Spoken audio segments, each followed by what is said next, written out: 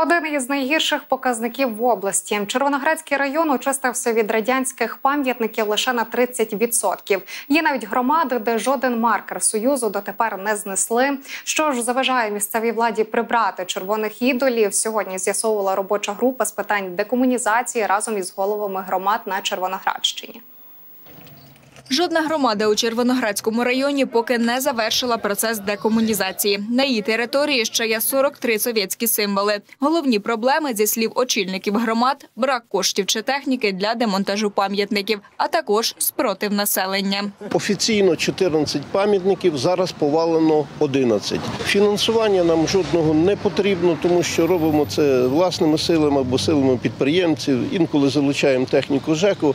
А от е, розуміння з людей інколи треба на то час. Ми дійсно, якщо хтось каже, що вже не може надати техніку, ми їм знайдемо, тому що наше завдання це зробити. Наше завдання наскільки когось е, в чомусь звинувачувати, наскільки правильно запевнити, що це єдина позиція, і Львівщина повинна до кінця року бути декомунізована. А ще на нараді обговорили стан укриттів та кількість гучномовців у громадах. Якщо містяни чують повітряну тривогу, то у селах ситуація значно гірша. Ми сподіваємося, що е, до кінця року е, всі громади підключаться, і е, точно обласна влада показує приклад того, що ми готові співфінансувати, співфінансувати багато для того, щоб до кінця року там 99% були забезпечені і міста, і села, взагалі Вівчина. Як підсумок зустрічі у гірнику, що на Червоноградщині знесли совєтського солдата.